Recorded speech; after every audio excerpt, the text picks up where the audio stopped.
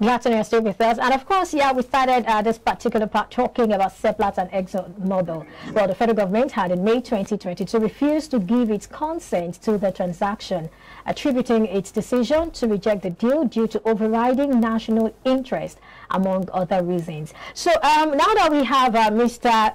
Garuba uh, with us, hello, Mr. Garuba, can you hear me? Yes, I can hear you. Oh, fine. Now, talk to us about this. The NNPC had earlier secured a court judgment that temporarily blocked ExxonMobil Corporation from selling its Nigerian assets to Seplat. Was the president wrong in giving his assets to the sale initially before reverting or uh, reversing himself?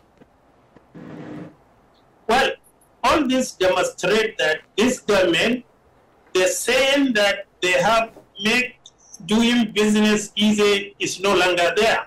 Because this is the same thing we experienced during the Oando had their acquisition. And now it is repeating themselves. So history uh, please go ahead if you can hear me. Well, I, I, think it started on a very good note, talking about the ease of doing business and making reference to what happened uh, to Oando. You want to take it up from there? Yes, well, I, I, will look at it from a different perspective. Okay. Um, yes, uh, there, will be no point trying to even blame the president or the presidency for anything because in investment, if you recognize a mistake, then there's nothing wrong to correct it.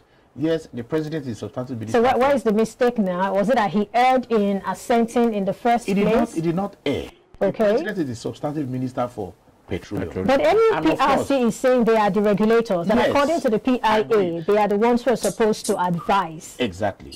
So probably the Seplat, the president is saying, is saying Seplat is a local company, and all the papers they submitted to him, of course, it's only just to append, append the signature. There's nothing wrong with that. Seplat is a local Nigerian company doing so well, both in um, Lagos Stock Exchange, um, the NGX, and of course in um, London. London. Exchange, yeah. Okay, so and IOC was divested. Seplat said, okay, yes. But you're looking at an NNPC's argument. They said they have the right of first refusal. Agreed, agreed. So let us, if we are now saying, if NNPC is now saying, okay, we are not ready, Seplat will have just taken it. But now, but we must commend the regulatory agency for standing their ground and saying, no, we need to do our job before advising the president. What I believe happened was some person just took it hurriedly to the president. And of course, the president is just trying to say, okay, let this transaction go on quickly. IOC is leaving. This local one can take it over. Okay, decide.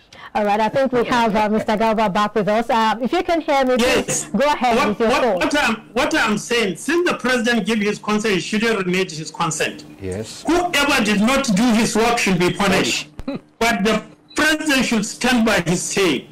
This is what we experienced during the Oando, and now it's repeating itself.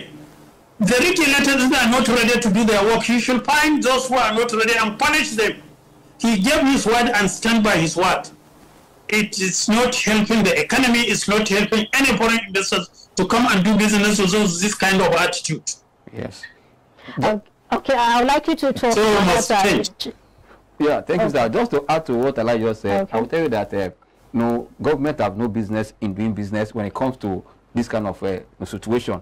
One, if you look at the president argument initially when he said the Seplat will report to make up the hundred thousand, uh, so hundred uh, thousand uh, uni um, uh, markup Million in the, no, per day. per day that they, they just sign up.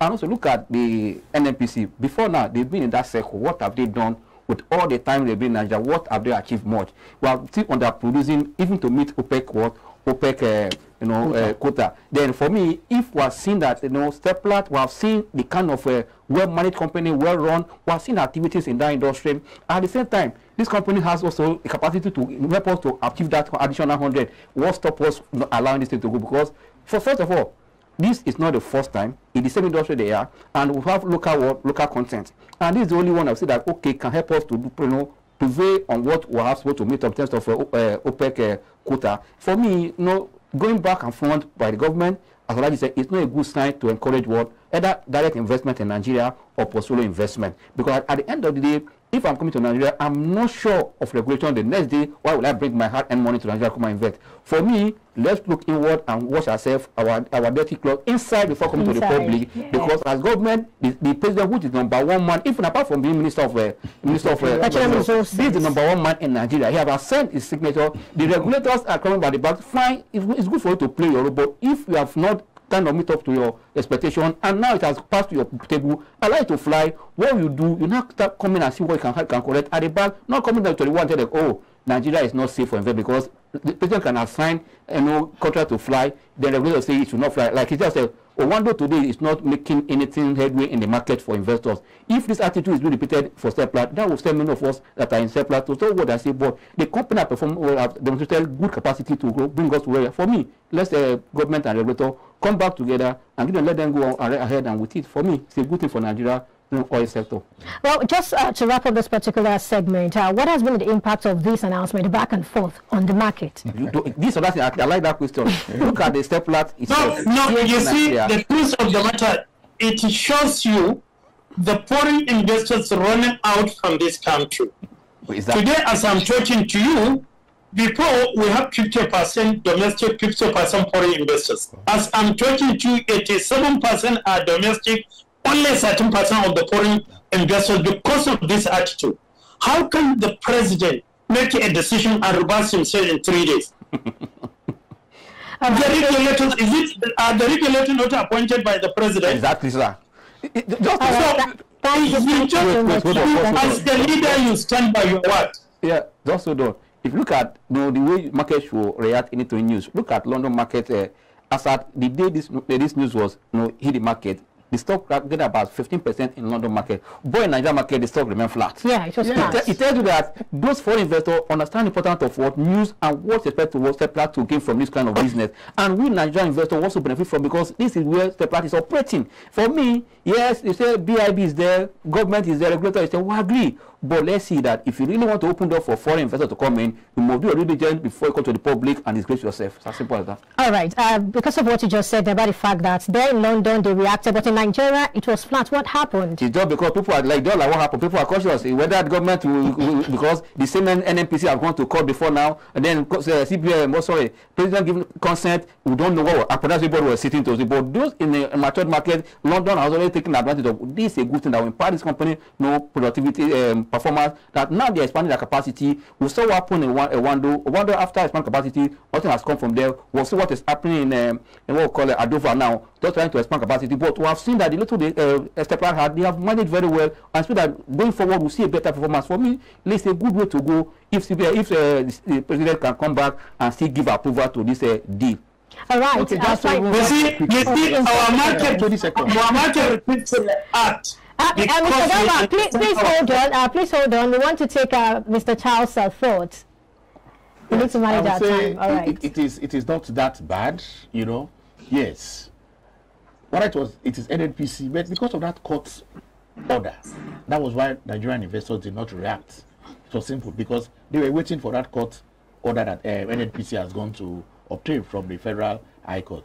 But I would say, you know, moving forward, if whether it is NNPC Limited now or Seplat, those assets can be managed by both of them.